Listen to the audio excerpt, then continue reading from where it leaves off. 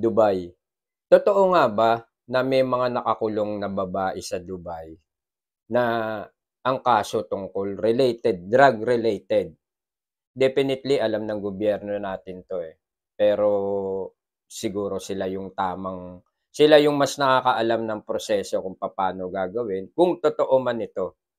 Kagabi kasi may kakwentuhan ako na isang humihingi ng advice kung paano raw siya makakapag-tour ulit palabas ng Pilipinas. Kasi nag-confess siya, nakulong siya sa Dubai. Babae ito. Of course, of course, hindi natin babanggitin yung pangalan nito. Nakulong siya not because of drugs. Ibang case, mas mababa, uh, parang mga one month lang yata o more than a month siya nakulong. Pero doon sa pagkakakulong niya sa loob, nakita niya, sabi nga niya sa akin, Kuya Randy, meron talagang mga Pinay na nakakulong ngayon sa Dubai due to yung yung drug related case. Kasi ano eh, masarap daw ang kulungan sa Dubai.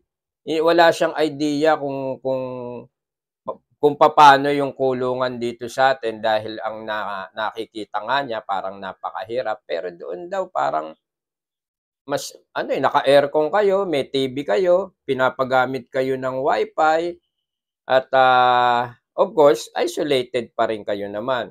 Ang sen ang sentensya daw nung iba doon nasa 25 years. At totoo nga ba na wala ng death penalty sa Dubai pagdating sa drug-related case? Kaya yata malalakas na ang loob ng ibang kababayan natin. Ang sabi niya sa akin, mga around more than 5 yung yung kasama niya mismo na nakakulong na mga kababaihan sa Dubai, yung isang araw doon, ano eh, uh, parang 12 years na yata na nakakulong. Meron na rin daw yatang napalaya. Daw ha, sinasabi natin daw kasi, nagkukwento lang naman itong mismong naka-experience ng kulong sa Dubai. That's lately lang ah, hindi yan matagal na. Kailan lang yan.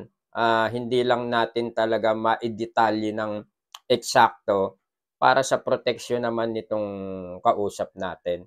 Pero yun yung isa sa mga impormasyon uh, na ibinigay niya. Sabi niya, may kasama ako doon. Mga, more than five na kapwa ako Pilipina. At yung iba, marami rin naman foreigner ibang nasyon na kasama siya doon. Na andito na ngayon sa Pilipinas yung ating Pinay na kababayan at hindi hindi na raw siya babalik sa Dubai dahil na-trauma siya doon sa maling pangyayari sa buhay niya na siya'y napagbintangan kaya siya nakulong. Buti na lang, ganun lang. Wala siyang pambayad daw eh, pinagbabayad siya yung kung magkanong halaga man yun, eh wala siyang pambayad. Binuno na lang niya. Parang two months yata ang, ang ano sa kanya, sentensya, pero nabigyan pa siya ng parol, uh, more than a month, nakalabas siya, nakauwi siya ng Pilipinas. Ang tanong lang niya sa akin, makakaalis pa ba ako? Isang maiksing sagot, yes. Basta't uh, kumpleto yung dokumento mo. So kaya do sa mga kababayan nating Pilipinas, sana naman wag kayong pumasok sa ganyang klasing transaksyon ano pag nasa labas na kayo ng Pilipinas. Walang wala kayong kasama doon at wag wag napakahirap na masangkot sa ganyan. Kaya kung trabaho, trabaho lang, magtrabaho kayo na mahusay. Ang tanong na lang, totoo kaya yon? Kasi hindi ko sinisigurado na totoo dahil kwento lang naman sa akin yon nung isang nag-confess kagabi. Isang kababayan natin Pinay. Good, nandito na siya ngayon sa Pilipinas.